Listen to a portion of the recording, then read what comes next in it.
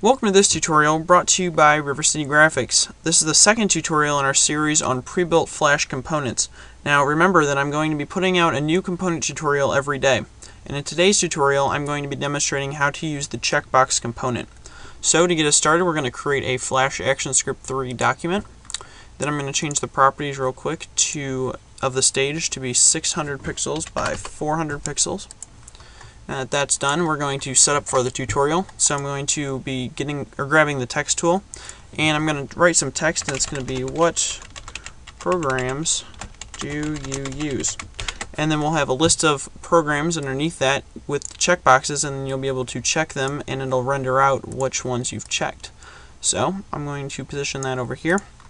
And now we are ready for our checkboxes, so I'm going to go to Window, then Components, and um, again, they'll probably be under, um, you might have it closed, but it'll be under User Interface. And we're going to grab the checkbox and drag it out onto the stage. So now that I have that here, I'm just going to kind of position this underneath. And then I'm going to, um, once I have that first one positioned, I'm going to hold Alt while it's selected and then drag down, and that's going to allow me to duplicate this. So get those about evenly spaced out and then we can start adding the labels to them. So to add a label to this we need to first click on it, then go to properties and then click this little button right here or it'll be in wherever your parameters are if you're using an older version. So for the parameters we're going to set the label on this first one to Photoshop and then on this next one we're going to set it to Flash. Then on this one, we're going to set it to Illustrator. And then on the last one, we're going to set it to Dreamweaver. Alright, so now that we've done that, we need to add some instance names to these buttons. So we're going to add an instance name of Photoshop, and then CB for checkbox. Make sure I spelled that right. Okay, now for the flash one, it's basically going to be the same thing, Flash CB and Illustrator. Illustrator CB. Okay, and lastly Dreamweaver CB. Okay, so now that we have that done, we're going to create another text box over here for the text to be rendered out in. So we're going to just drag out a text box here and we're going to make sure that this is on dynamic text. And further down you want to make sure that it's on multi-line also so that it's not just on one line. Um, and then we're going to add an instance name we'll just call that my text. Okay. So now we need to just line this up with our other text box here so that it's on the same um, basically the same level so that it just looks a little bit better when we're done. And I think that we're ready to start actually coding this out. So we're going to have um, we're going to have these checkboxes here, and then we're going to have it say you use, and then it's going to put the programs that you've selected over here underneath. So let's get started with that. So we're going to open up the actions frame, and first we need to um, basically give a value to our text box. So we named it my text. So did I say my text or my yeah my text? Okay, just making sure. So open the actions back up. So my text, and then dot text space equals space, a couple of quotes and a semicolon, and then inside that we're going to put you use, and then like three dots. So you use these programs.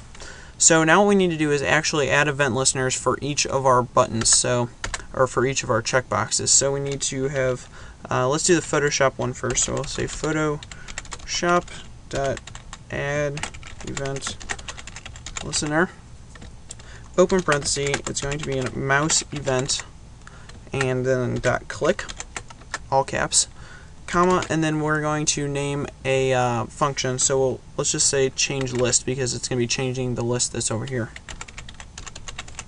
Okay, so close parenthesis, semicolon, and now I'm just going to take and oh, we need actually we need a CB right there. That would have caused a problem make sure that you have the same instance names as you used for your checkboxes. So I'm going to copy this, basically paste it four times, and the only thing that we need to change are these programs here. So I'm going to change that to Flash, Illustrator, and Dreamweaver. So basically when any of those is clicked, then it's going to fire off this function right here. So now we need to write that function, so I'm going to hit enter a couple times.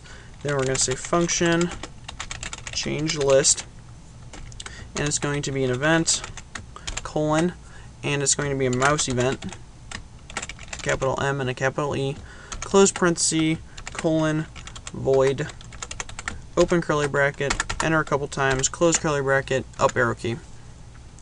So now we want to put in our text again. So I'm just going to grab this real quick and basically we need to have the text show up at the top and then we want it to have a break afterwards. And to add a break um, like in Dreamweaver for like HTML it would be like br space and then it would look like this. But in Flash what you're going to do is you're going to have a slash it's going to be a forward slash and it's going to be an N. So that's going to be a break like a line break in uh, Flash so we're going to basically render out the text here and then it's going to have a line break and then we need some if statements. So if and then the Photoshop let me just grab this so that I don't have to keep typing it. We're going to say if that is selected so if that checkbox is selected then it's going to equal true. And what that means is that my text is going to append, so append text with a capital T, then it's going to append this label, so we want that dot label plus another line break. So I'm going to try and explain this after I've done it because I haven't really explained it too well for that line. So basically what we need is if it's selected, then it's going to be true. And since when it's true, then we're going to append text to the end of my text. So it's going to say you use, and then underneath it, it's going to append the label. So it's going to say you use, and then underneath Photoshop, and then it's going to put another line break so that if we have another program, then it's on the next line. So let me actually just test this out here, and you should be able to see it work for Photoshop so you guys can get an idea. So right now Photoshop's the only one that works. You can see these other ones don't work, but it'll it'll put Photoshop underneath there. So basically what we need in order for those other buttons to work is to just copy this line of code here and then just put them underneath and change these programs or these um, instance names according to the program that it is. So I'm just double clicking and that's how I'm selecting that very quickly. And we're just changing all these. And now this should work. So we're going to do test movie. And here you can see puts up flash and then if I have Photoshop you can see you can have as many or as few as you want in any order. Doesn't really matter they'll change depending on what's basically what's selected so as you guys can see this will be this can be pretty um, useful especially if you're making forms within Flash um, you might also find some other uses for checkboxes. Um, I just I think that it's a, it's a pretty neat tutorial. Um, different you can do a lot of different things with checkboxes. So uh, I hope you guys learned something. Hope you guys subscribe, rate, and comment. And don't forget I'll be putting out another tutorial tomorrow. So don't forget to check back.